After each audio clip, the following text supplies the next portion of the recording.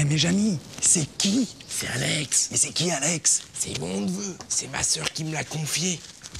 Oh, il est beau, hein? Ah ouais, c'est beau un bébé. Mais dis, tu sais comment on les fait, toi, les bébés? Non, je sais pas. Eh, on devrait peut-être aller faire un tour dans une maternité. Marcel, avance doucement Doucement. Allez, Marcel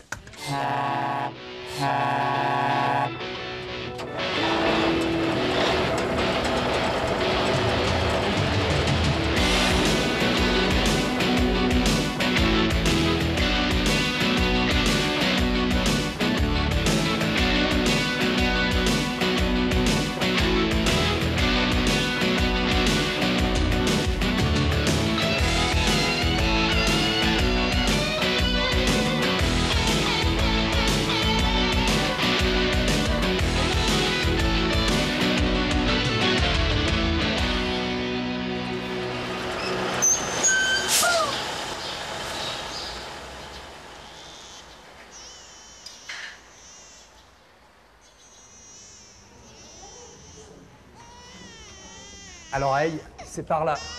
C'est l'heure du bain. Bonjour mesdames. Bonjour toi. Tu es né quand?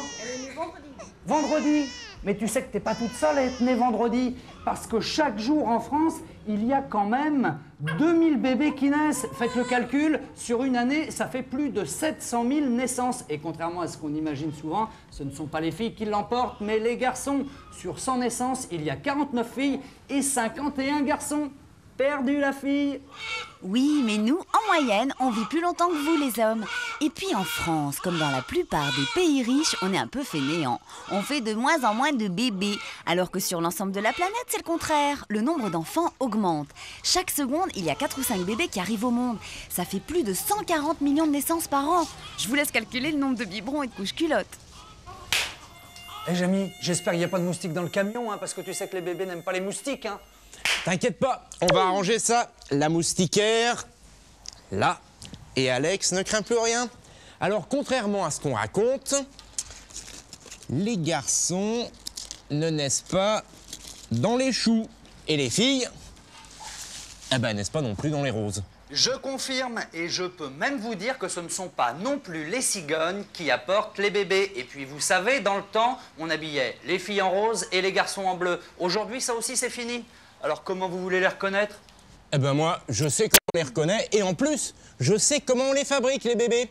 Pour faire un bébé, il faut un homme et une femme. Enfin, un spermatozoïde et un ovule. Le spermatozoïde, il vient du père, l'ovule, il vient de la mère. Ce sont des cellules qui contiennent 23 chromosomes. Les chromosomes, ce sont ces petits bâtonnets qui contiennent les gènes. Et les gènes, eh bien, ils transportent un message codé qui va déterminer les caractéristiques du futur bébé. La couleur de ses yeux, la forme de son corps, son sexe et aussi parfois des maladies génétiques. Alors, au moment de la fécondation, c'est-à-dire lorsque le spermatozoïde rencontre l'ovule, eh chacune de ces cellules va apporter la moitié du patrimoine génétique du futur bébé. Viens voir un peu par là, Jamy. Je suis sûr que t'as jamais vu ça. Une armée de spermatozoïdes en action. Tada, tada, tada, tada, tada, tada, tada. Et si on veut les voir encore mieux, on peut grossir, on fait le point, parce que c'est pas long un spermatozoïde. En moyenne, ça mesure 65 microns, 65 millièmes de millimètre. Et il y en a des milliers, voire des millions dans une goutte de sperme. Alors, si vous les lâchez en liberté, là, ils foncent au pas de course, parce que ça peut quand même parcourir 36 cm en une heure, ces petites bêtes-là. Ces petites bêtes, comme dit Fred, elles sont fabriquées dans les testicules. Ça, tout le monde sait où ça se trouve. Et il y a du rendement. Chaque homme en fabrique plus de 1000 à la seconde. Alors un spermatozoïde, ce n'est pas qu'un sac de chromosomes, c'est toute une mécanique. D'abord, il y a le noyau qui contient les 23 chromosomes. Devant, une pointe qui contient des enzymes. Ces enzymes, ils vont servir à perforer l'ovule au moment de la fécondation.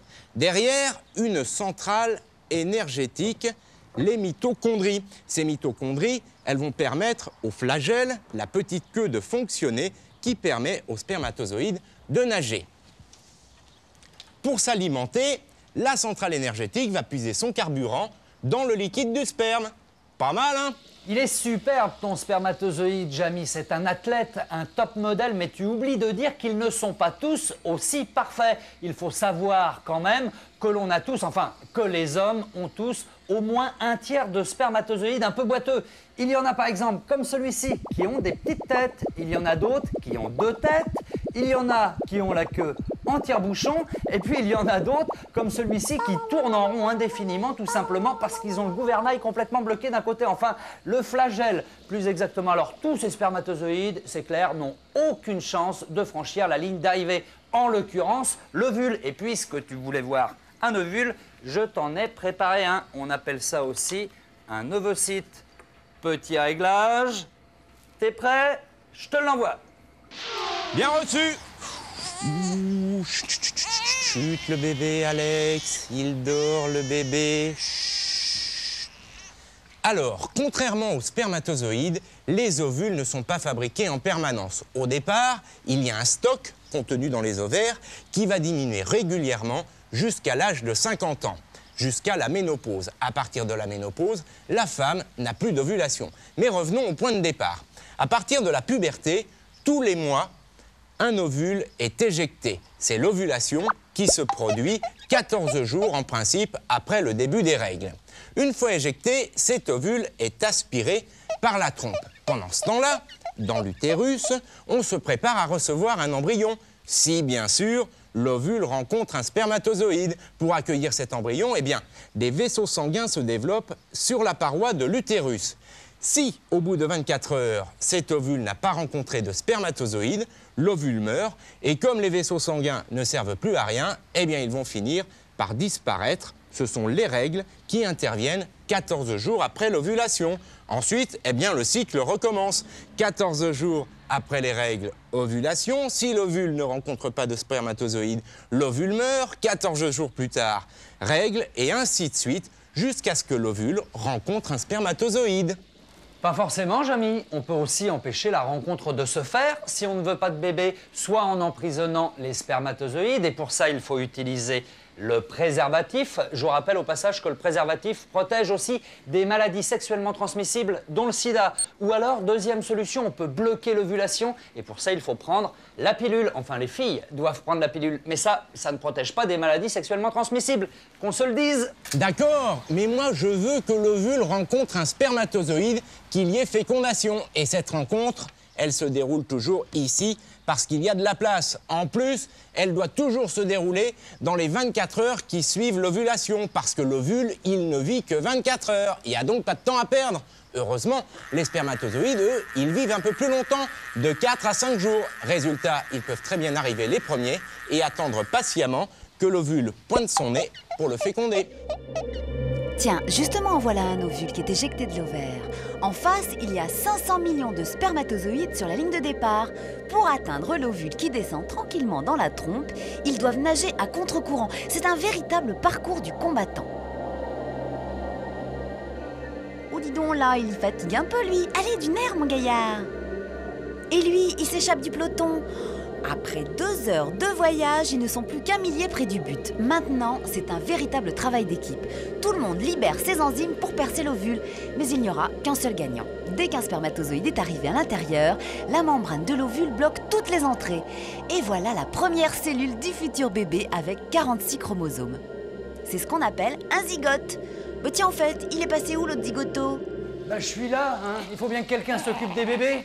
Il y en a tellement en plus. Oh là là, les biberons parce que c'est pas offert à tout le monde d'être un bébé. Ça se mérite. La fécondation ne marche pas à tous les coups. Même lorsque le spermatozoïde et l'ovule sont là au bon moment, il y a seulement une chance sur quatre pour qu'il donne naissance à un bébé. Ça, c'est la nature et c'est valable pour tout le monde. Bon, alors, par qui on commence? Allez, par lui, il pleure le plus.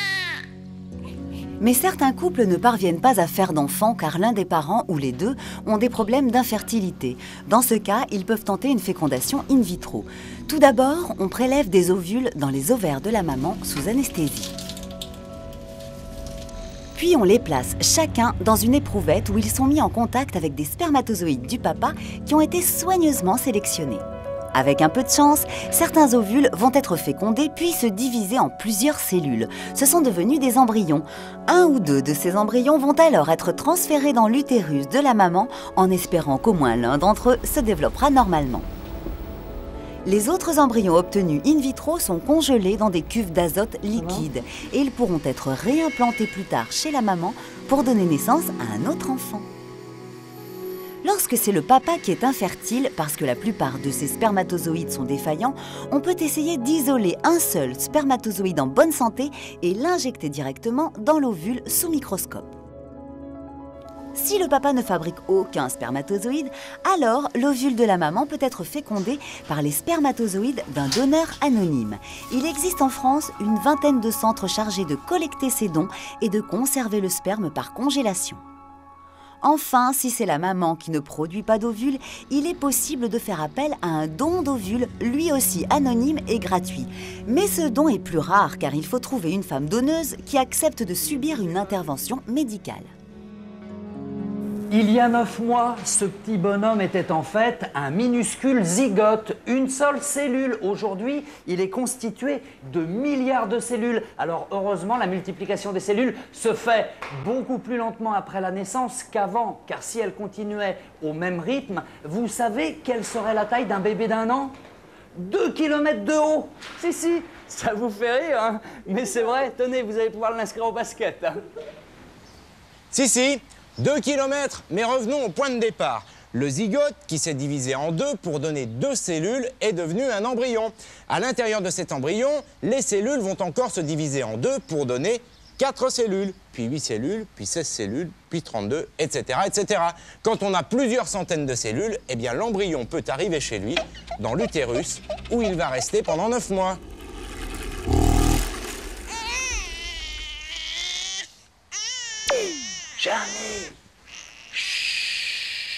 Les bébés, ça n'aime pas le bruit.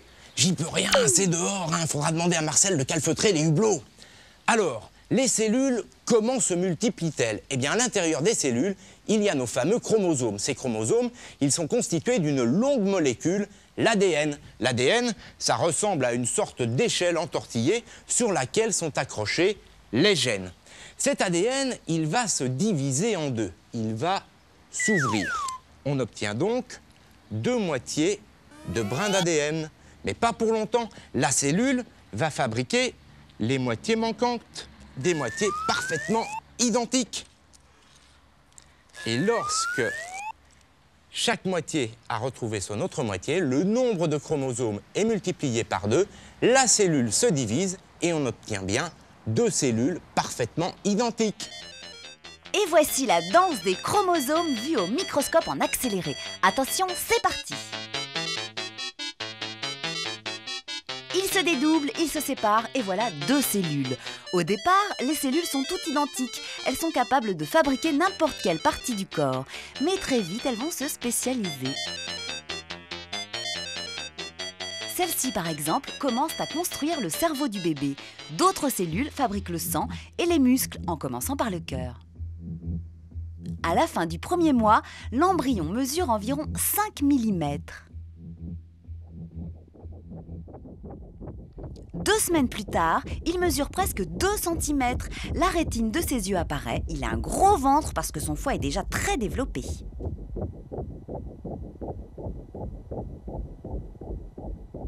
À deux mois, les cinq doigts de chaque main sont formés. Les doigts de pied viendront un peu plus tard. L'embryon commence à bouger, mais sa maman ne sent pas encore ses mouvements. Deux mois et demi après le début de la grossesse, on peut déjà observer l'embryon. Et vous savez ce qu'on voit? Le cœur qui, lui, bat déjà depuis l'âge d'un mois. Alors cette première photo de famille, on l'obtient grâce à l'échographie. Rien à voir avec la radiographie. Ici, on n'utilise pas des rayons X, mais des ultrasons totalement inoffensifs pour le bébé, comme pour la maman. Les ultrasons sont envoyés en direction de l'embryon. On récupère un écho et cet écho permet de fabriquer cette image. Il faut quand même être un peu spécialiste pour la lire. Qu'est-ce que vous arrivez à voir là par le cœur? Alors regardez, là on voit sa tête avec son profil, on devine le bout du nez là-haut. Et si on se déplace, on voit la colonne vertébrale, on voit le cœur qu'on vient de voir, ensuite l'estomac et la poche noire en dessous. On continue, on continue et on devine ici les petites jambes qui sont dirigées vers le haut. Et au bout des jambes, cherchez bien, on devine maintenant les pieds et on peut même compter les orteils. Exceptionnellement, on peut voir l'embryon en chair et en os grâce à une caméra miniature introduite dans l'utérus de la maman. Cette technique est utilisée uniquement lorsqu'il y a un risque de malformation grave. Pour lui, heureusement, tout va bien. À partir du troisième mois, le squelette et tous les organes sont en place et le bébé change de nom. L'embryon devient le fœtus. À 4 mois, il peut déjà donner des coups de pied et bouger les doigts. Il a des ongles, des poils et quelques cheveux. Et il grossit très très vite. Et maintenant, vous voulez voir son portrait? Eh bien, regardez, on va faire une échographie en trois dimensions. On va, grâce à l'ordinateur contenu dans la machine, lancer un programme de reconstruction et vous allez avoir dans une minute apparaître le visage de votre bébé. Regardez. Voilà, donc ça c'est la face avec justement son petit oreiller qui est en fait le placenta sur lequel il était couché. En faisant tourner cette image, vous avez la vision complète du visage de votre petit. Et à partir de ces images en trois dimensions, on peut même reconstituer les mouvements du bébé.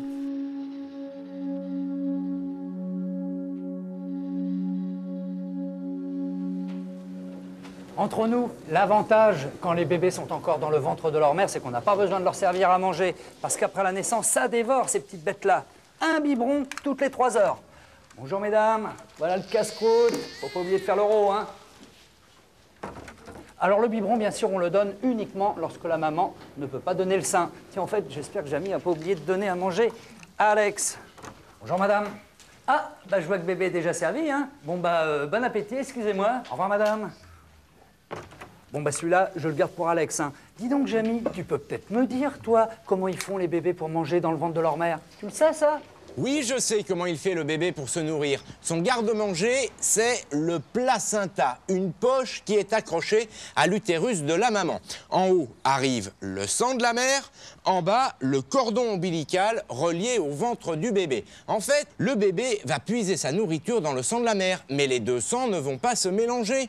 Le placenta va servir de filtre, de zone d'échange. Comme ça, le bébé ne va puiser dans le sang de sa mère que les éléments dont il a besoin, nourriture et oxygène.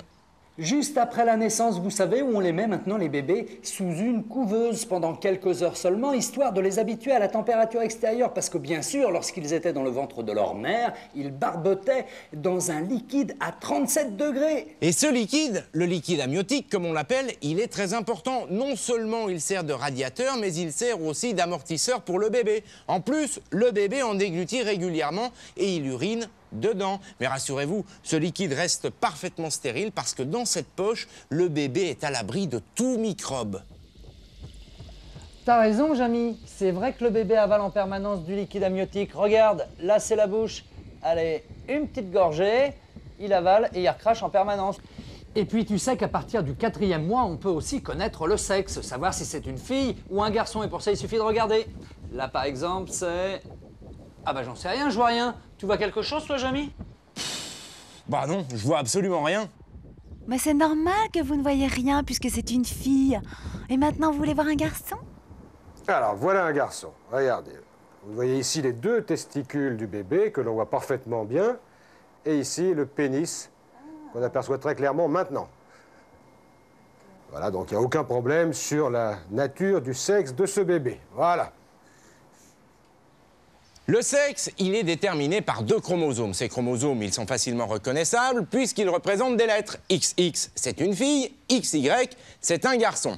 Cet assemblage, il se fait au moment où le spermatozoïde rencontre l'ovule. Le spermatozoïde, il transporte soit le chromosome X, soit le chromosome Y. L'ovule, lui, il transporte toujours le chromosome X. Si le spermatozoïde transporte le chromosome Y, on a l'assemblage XY, c'est un garçon. Si le spermatozoïde transporte le chromosome X, on a l'assemblage XX, c'est une fille.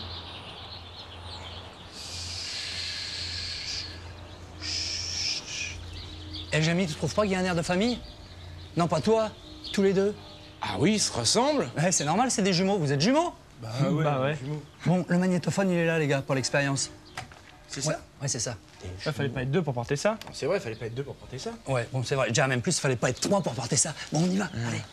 Des jumeaux. Des vrais jumeaux, Jamy. Des vrais jumeaux. Des jumeaux Ah oui, des jumeaux. Les vrais d'abord. Alors, à l'origine, il y a bien un ovule qui va être fécondé par un spermatozoïde. Ça donne un zygote avec deux cellules. Mais au lieu de se transformer en embryon, ce zygote va se diviser en deux et se transformer en deux embryons. On aura deux bébés parfaitement identiques. Pour les faux jumeaux, c'est totalement différent.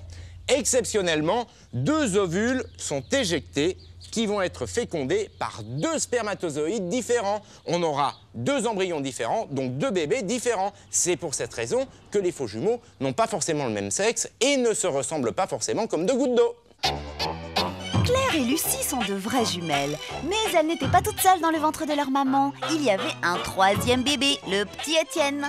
Le problème avec des triplés, c'est qu'il faut les nourrir et les changer tous en même temps. Ça fait 21 biberons par jour, 700 couches culottes par mois. Alors vous imaginez le travail avec des quadruplés ou encore plus avec des quintuplés?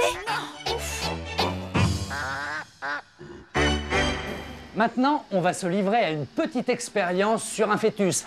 on va lui faire écouter de la musique, car faut pas croire, le fœtus n'est pas isolé du monde extérieur, bien au contraire. Il entend les bruits et par exemple la voix de sa mère. Il paraît que celui-ci aime beaucoup le violoncelle. Ah bah dis donc, ça lui fait pas grand-chose ta musique. Bah à mon avis, ça doit être l'heure de sa sieste parce que d'habitude il réagit.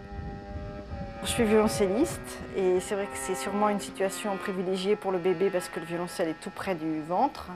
Donc il a le son euh, directement. Et, euh, et en réaction, j'entends souvent des. ou je sens souvent des coups plutôt euh, particulièrement violents ou dynamiques. Alors est-ce que, est-ce que le bébé est content ou pas, je ne sais pas, mais c'est en tout cas une réaction. Pas facile de savoir s'il préfère le rock ou le violoncelle. Ce qui est sûr, c'est qu'à partir du sixième mois, le fœtus entend. Si on lui envoie un son très fort, il réagit. Les battements de son cœur s'accélèrent.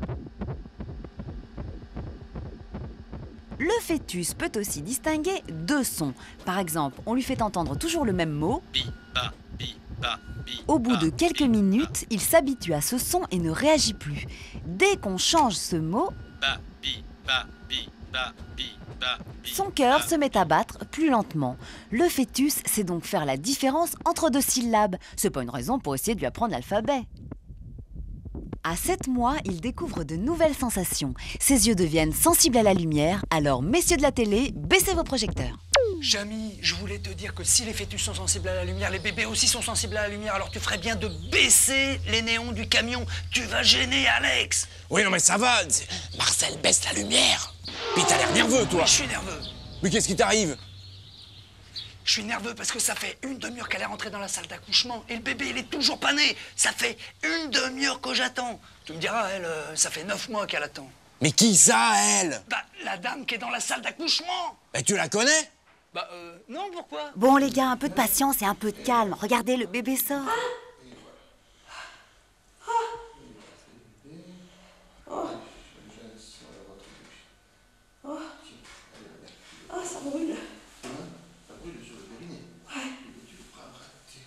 Le travail avant l'accouchement dure en moyenne entre 6 et 8 heures. Mais le bébé ne met en général pas plus de 20 minutes à sortir. Ah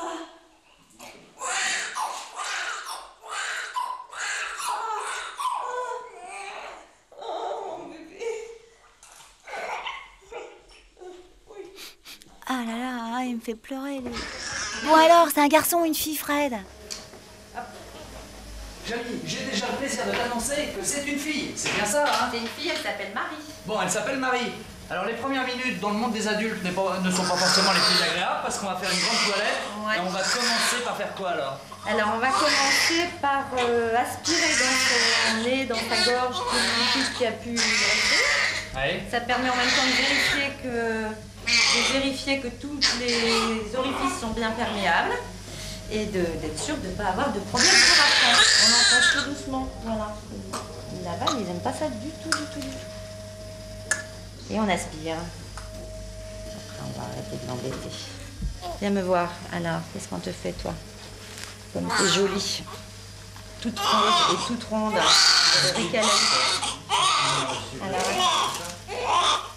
on regarde la bouche. Voilà. Hop. À la naissance, un bébé pèse en moyenne entre 3,2 kg et 3,4 kg et mesure environ 50 cm. Mais oui, tu te cramponnes. Regarde, comme je suis costaud. Et après, je remonte ma tête si je suis une grande fille. Boum. Eh ben, elle est parfaite, ce bébé. Eh, Jamie, j'ai Oui trouvé des copains pour Alex. Ah bah il va être content parce qu'il commence à s'ennuyer, le petit père. Viens voir. Des faux jumeaux. Regarde. Regarde.